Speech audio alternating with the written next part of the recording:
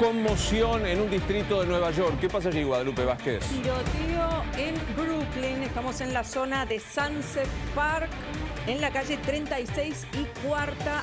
Tiroteo a las 8 de la mañana. Todavía no hay información clara. Parecería que encontraron eh, dispositivos explosivos. Hay al menos dos heridos. Esto trasciende a través de las redes sociales en donde la policía advierte que se evite la zona, calle 36 y cuarta en Sunset Park en Brooklyn.